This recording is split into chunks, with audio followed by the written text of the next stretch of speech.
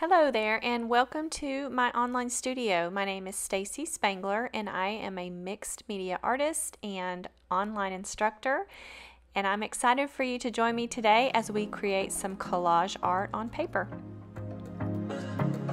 So today I'm going to be using a larger size. This is a 9 by 12.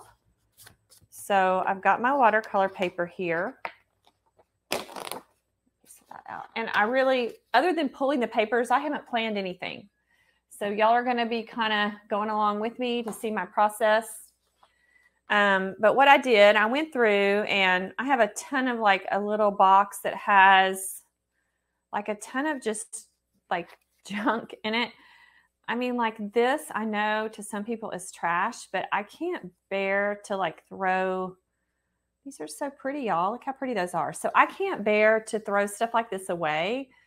Um, probably just like wipe some paint on that or something, but it's really pretty. I may or may not use it today. I don't know. But so when I went through my stash, I just pulled some little scraps that I had. Um, and you could see I was kind of, you know, I always love seeing. Normally, y'all know I gravitate toward pink, but I was really gravitating toward the cool colors today. So I think what I started with is that I, I pulled these painted papers that we had done, right? These are from our paper, painted paper challenge. So I pulled these first. Um, and I was really kind of gravitating toward these I mean, this is actually a really warm green, but I was gravitating toward the cooler colors. And then, of course, I pulled in this because this is my only pink I pulled in. And so then after I got kind of this collection of papers here, and you can kind of see how they all, you know, they're actually not like color coordinated or anything, but they do all go together. They all work together. Then I started pulling other little things and so I've got just some little fabric pieces here that were just left in a scrap pile. I think this is muslin and this is, I don't know what this is. This is like a little piece of fabric that's got some ink on it or something. This is a watercolor flower and a little leaf. Um, this is a doily.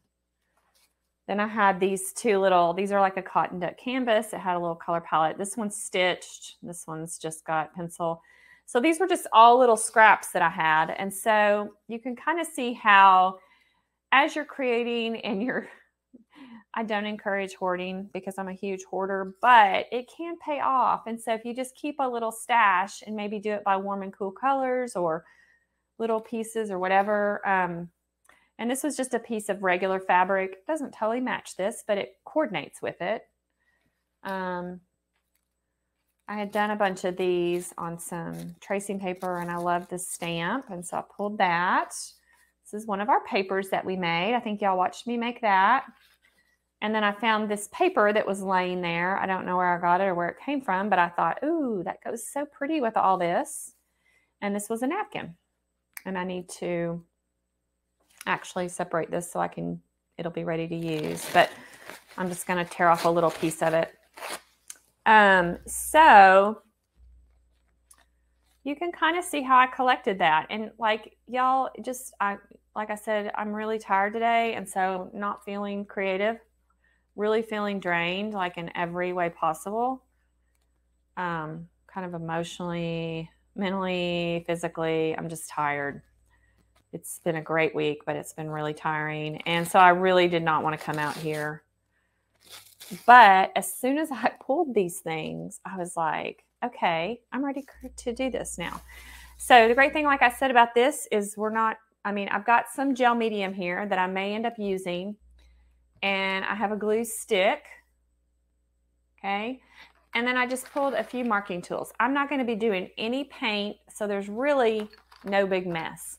So this is a great exercise that you could pull into your kitchen table um, and just pull a stash or like if you wanted to create something on your lunch break you could put a little bag together and this is something you could easily transport and you could do it in a journal an art journal or anything. But um, you know it's fun to make these individual pieces and i always look at it as like a puzzle. Um, it's just kind of fun to put these things together. Actually here's a piece of sheet music too so we'll throw that in there. Okay so here's our pile And then I just got some marking tools. Um, this is a graphite, a woodless graphite pencil.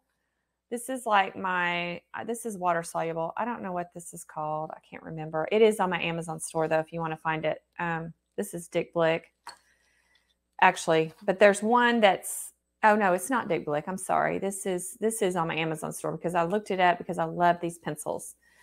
Um, it's, you can wet it and it's great. So I got a white, a black, a gold, um, Liquitex, and then just my Woody Stabilo to kind of go with these colors. So I don't know if I'm going to use them or not, but I'm, I'm limiting my supplies, limiting my what I'm creating with, and then I did have some scissors somewhere.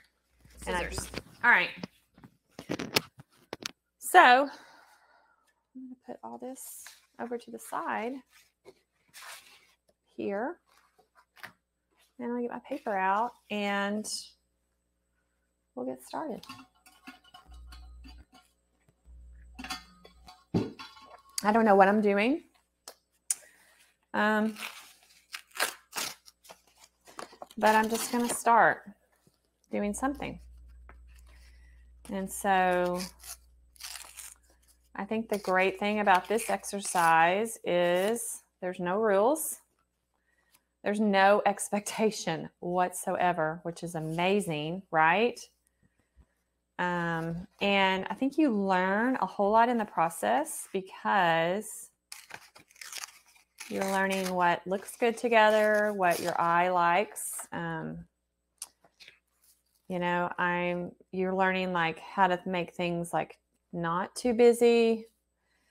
Um, and like see y'all see how this is kind of like working a puzzle um, and so since I, this is kind of my thought, I'm just taking you through my thought process. Okay. Since I use this, I don't think I'm going to use this because I've kind of got my bright greens. I'm going to set that aside. I'm done with that. I really like this. Ooh, look at how pretty that's looking. Okay, so just like I'm not a design person, but I did, I mean, I used to be a marketing person and I did take some design classes, but like repetition of things. Um, so I've got the repetition of circles going here. This is kind of just a little surprise element. I don't know. So I think I'm going to go with this color. Don't y'all think? Instead of this. I don't want to use both of these. That would be too much. But I think I like this one better. So I'm going to put this one aside. Um, and then repetition of colors also. So you have repetition of your design elements and you have repetition of color. Um, so I've got a little pop of pink here, and that may be just enough. I don't know. Um, but, you know, we could add another little pop in here. And what I do a lot of times when I'm working with these, I take, like, if I kind of get it how I like it, I'll take a picture with my camera um, that way, if I mess it up and I go back and I'm like, oh no, I like that how it was a minute ago, I can kind of like remember what I did. So I think I'm going to move this up. Let's see what other elements we want to work with here. I'm kind of liking all these here.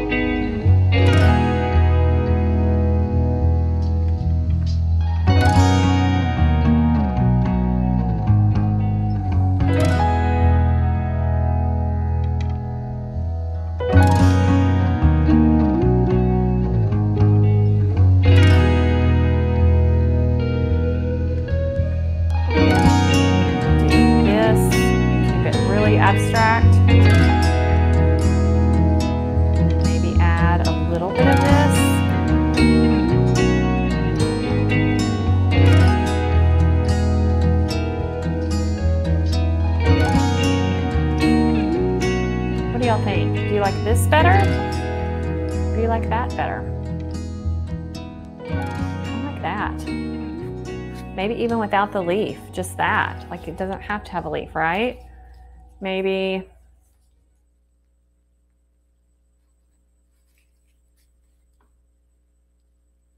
the round one. Yeah.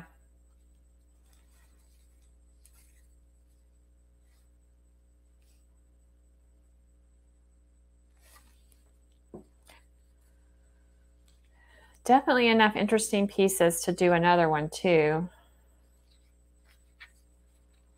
Um, I'm thinking I need some more neutrals in here.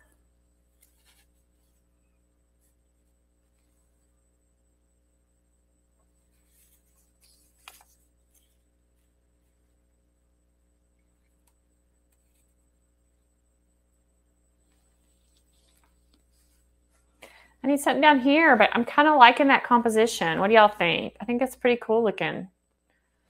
Thinking I move this over here and maybe just leave that offset. I need something to fill in right here. Let's see what I got over here in my stash.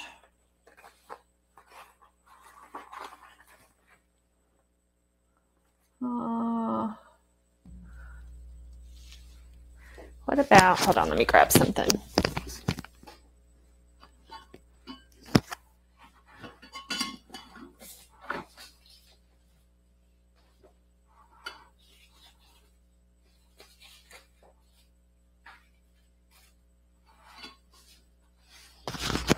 Let's see.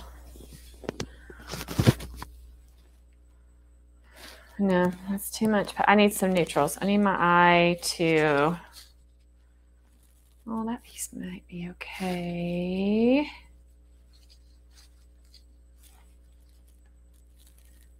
No, I don't like that.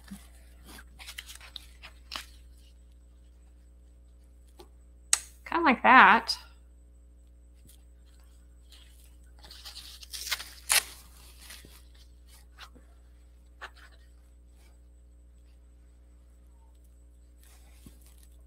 Mm, nope. What about, let's see, let me go back to my little pieces of paper here, or my little fabrics. Um,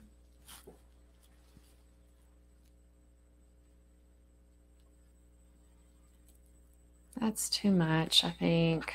What if I just hid it back there, though? What if it was just kind of like, no, I think it competes too much with this. What about just this? Just another piece of fabric. What if I did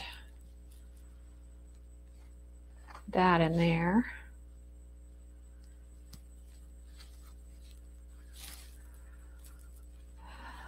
Yeah, I'm going to cut this off though.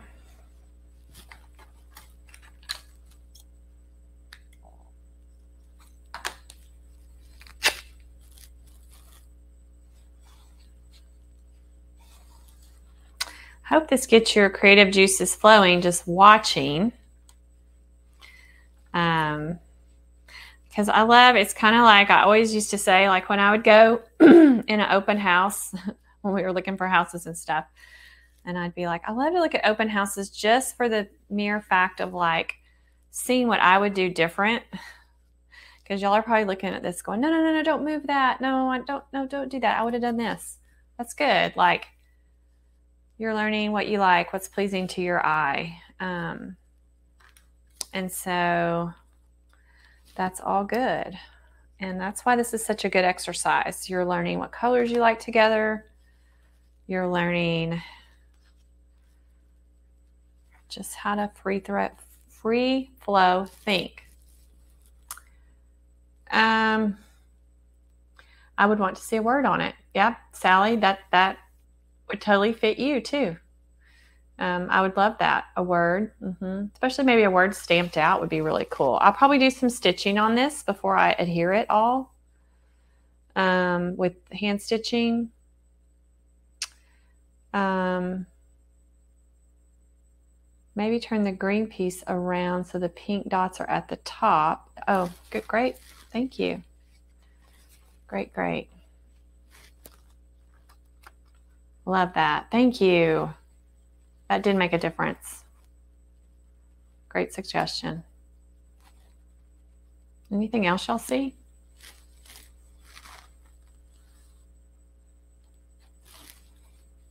Does it feel too busy to y'all? I think is what I might do is like take just some white thread and add some interesting stitches on these two pieces with just hand stitches before I glue it all down. Um, and I may remove this. I need something more neutral there.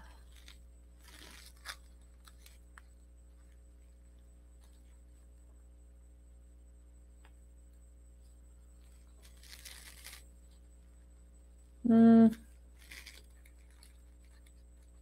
Very back.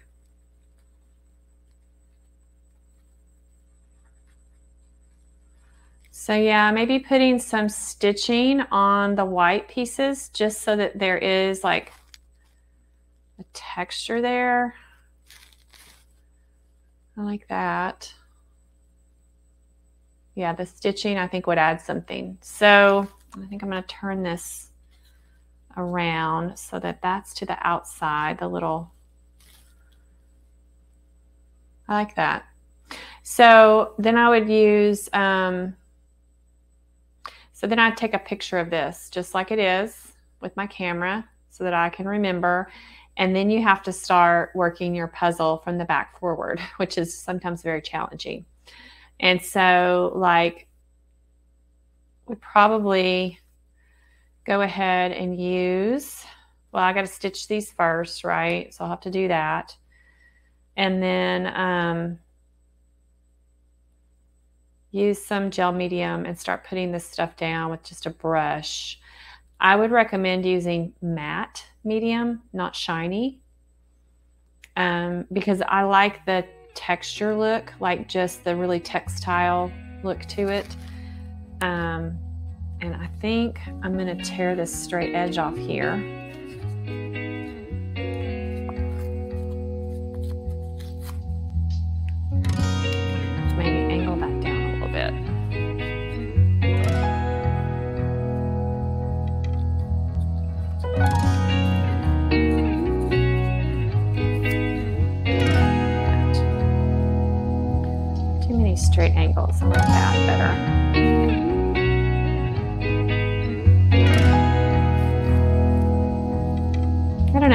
It's still a little busy for me. So I take a picture of it. Um, maybe look at it again later. Maybe do another one and come back to this one. I, I think maybe, like I say, I am overthinking it because I've got y'all watching me and I'm trying to like take you through my thought process. So therefore, I'm overthinking it, and I know y'all get that.